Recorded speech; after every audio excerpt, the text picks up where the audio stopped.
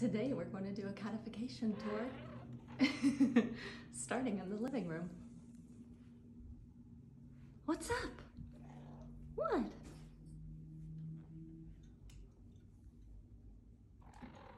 Hi, cutie pie.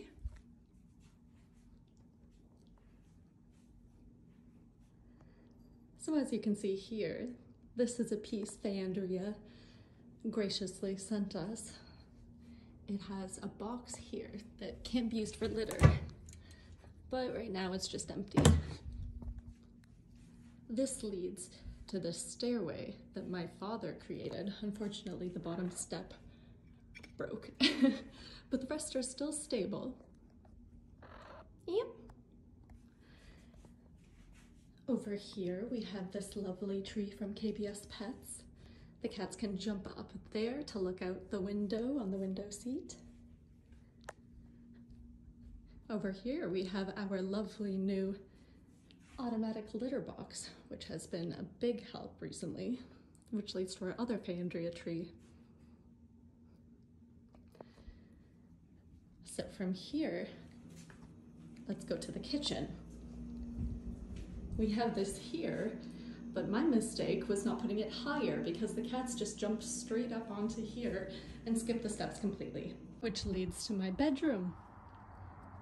And here we have Winter Princess taking a little, a little nap. Hi, Sassy. So we have this tree here and the cats can jump, climb across the back of my bed over to the shelves here, which leads here. And that is actually where I feed them the wet food up there. And over here we have another water fountain. That's a humidifier to help with congestion in the cats. And Winter's kibble feeder. She is so happy to be back on kibbles, but they are prescription kibbles um, for her urinary issues.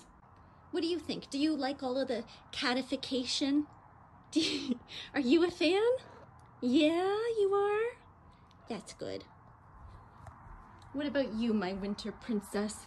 Are you a fan of all the catification?